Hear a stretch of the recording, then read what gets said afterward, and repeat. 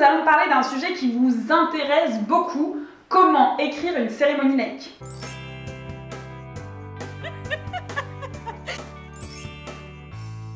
Vous le savez, je suis wedding planner et officiante de cérémonie depuis 6 ans maintenant. J'ai écrit plus de 100 cérémonies, donc je vais pouvoir vous donner des petits conseils, vous qui n'avez pas envie de passer par un officiant officiel et qui avez envie de prendre un témoin, un frère ou une sœur en tant qu'officiant. Et sachez que c'est un métier, alors c'est très difficile de prendre ce rôle, donc je vais essayer de vous aider.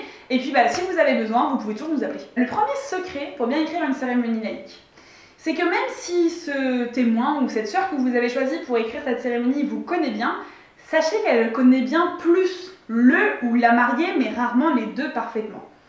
Il faut donc qu'il ou elle prenne le temps de connaître vraiment tous vos secrets, toute votre histoire, et cela se fait pas juste en discutant autour d'un bon café.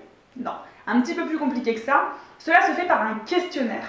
Un questionnaire assez élaboré sur votre vie entière, que votre officiant devra après étudier, devra après lire et comprendre et devra du coup euh, se servir de ces informations pour pouvoir romancer votre histoire. Car attention, si vous prenez un ami qui vous est cher mais qui vous connaît que depuis 10 ans, il parlera que des 10 dernières années.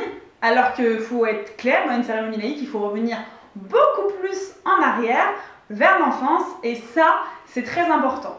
Donc un questionnaire, répondre à des questions précises, faire un petit peu les mémoires de votre vie, c'est que comme ça que votre officiant arrivera à écrire une cérémonie laïque. Deuxième conseil pour bien écrire une cérémonie laïque. Il faut être rigoureux et tenir un plan. Sur cette centaine de cérémonies que j'ai écrites, aucune ne se ressemble. Il n'y a pas de texte à trous, il n'y a pas de trame particulière. En revanche, il y a une chronologie que je respecte pour que cette cérémonie, elle soit en même temps émouvante, elle soit en même temps dynamique, quelquefois rigolote et surtout solennelle. Ces quatre adjectifs font d'une cérémonie une cérémonie parfaite et surtout qui vous ressemble. Donc évidemment, ne commencez pas la cérémonie en parlant de la rencontre des mariés. Il n'y a aucun sens à ça. Parlez d'abord de la mariée, de qui elle était quand elle était plus jeune, de comment elle a grandi avec ses copines, comment elle était avec ses parents, ses frères, ses sœurs, revenez après sur le marié, faites la même chose. Avancez comme ça doucement sur leur, âge adulte, leur jeunesse. Et là, du coup, à ce moment-là, une fois que vous avez parlé de tout ça, ça prend bien un quart d'heure, vous pourrez parler de leur rencontre en fonction du moment où ils se sont rencontrés dans leur vie.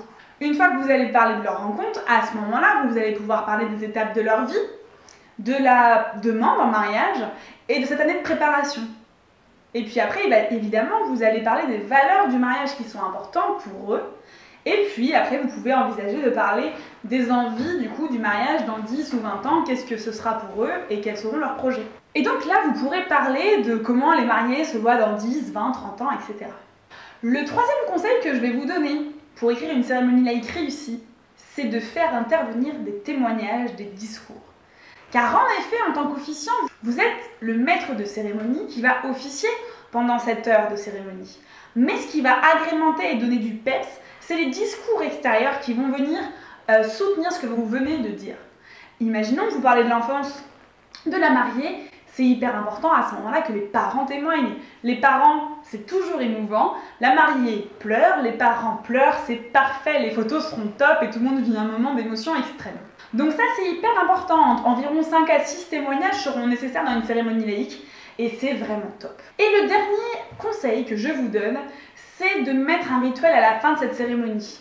Si les mariés sont pas très rituels traditionnels, eh ben qu'ils s'éclatent, qu'ils en créent un rituel. On a mis plein de rituels de cérémonie sur cette chaîne YouTube, n'hésitez pas à regarder, vous en avez là et là ici en lien.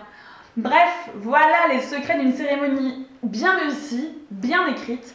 N'hésitez pas si vous voulez d'autres conseils, on est aussi cochon en écriture. N'hésitez pas à liker cette page, à vous abonner à la chaîne et on se retrouve bientôt pour de nouveaux conseils. À tout vite